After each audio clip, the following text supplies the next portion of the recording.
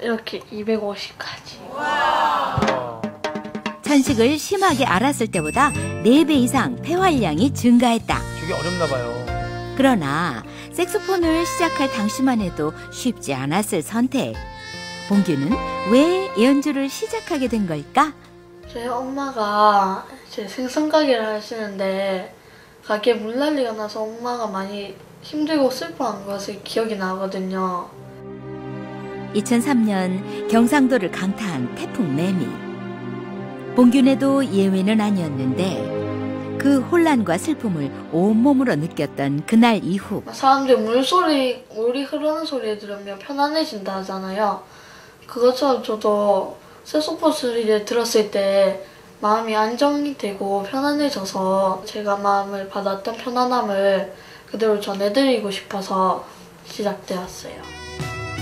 깊이 자리한 그 상처를 보듬어주고 싶다는 마음으로 색소폰을 배워 사람들에게 들려주기 시작했다고. 연주를 시작한 후로 하루도 연습을 거른 적이 없다는데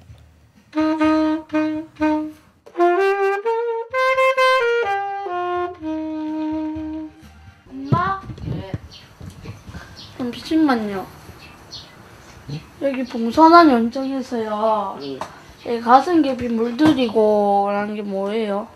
가슴 깊이 물들이고는 그런 절실한 사랑이라는 거야. 그러니까 마음이 아리고 간절하고 가슴 속에 새길 만큼. 그럼 좀 슬프게 불러야 되나요? 그치 가슴 아픈 소리지. 음, 저는 대략 그 감정을 이렇게? 알기 위해서 가사에. 맞아요? 그런 마 그런 느낌 맞아 이거는. 진한 사랑의 감정을 알기엔 연령 미달. 엄마의 혼수 덕분에 은규 감 제대로 잡았다. 다음 날 어버이날을 맞아 동네 어르신들을 한 자리에 모신 잔치에 봉규도 함께였다. 어르신들을 위한 공연엔 늘 두 팔 걷어붙이고 나서는 봉규.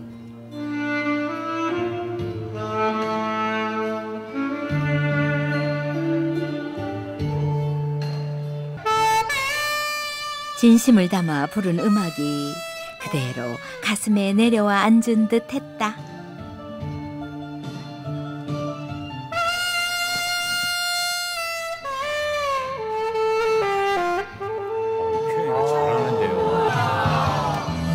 이번에는 잔치 분위기를 한껏 살려서 모두를 들썩이게 만드는 열정의 무대. 구윤 씨.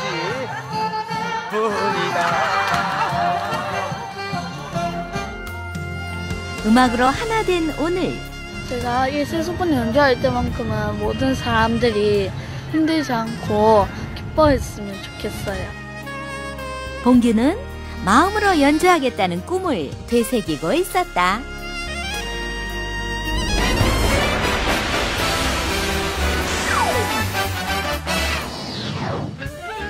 찾아간 곳은 부산. 이곳에서 5년간 매일같이 괴이한 일이 벌어지고 있다는데 무슨 일 때문에 그러세요? 아, 요새 내가 도난 사고 나갖고 막 잠이 안 미치겠습니다. 도난 사고요? 예 예 예. 도난 사건이 발생한다. 요즘 세상이 흉흉해요. 그러면은 경찰에 신고하셔야 되는 거 아니에요? 그죠? 신고하기도 애매하고 안 하자에 머리가 속이 터지고 막 미치겠습니다. 야채 파는 데 아니에요? 채소 파는 곳 아, 아니에요? 달걀이에요. 아, 여기서 달걀. 맨날 없어진다니까 얘. 네? 여기서 맨날 없어진다니까 얘. 뭐가 없어져요? 달걀도둑? 여기 여기 뭐, 어, 이거 트럭 아니에요? 예 예. 뭐 뭐가 없어져요 근데? 요 차에 뭐 요액보이 더 있어 얘. 뭐요? 요 달걀보이 더 있으니까. 계란이요? 예 예. 바로 달걀들이 없어진다는 것.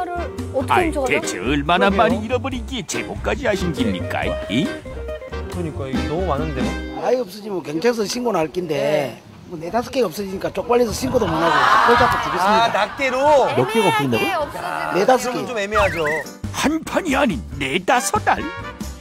이 많고 많은 달걀 중에 몇 개만 쏙쏙 뽑아간다니 참으로 유상하고 희한한 달걀 그럼 저건 못. 팔잖아요. 채워야 되고요.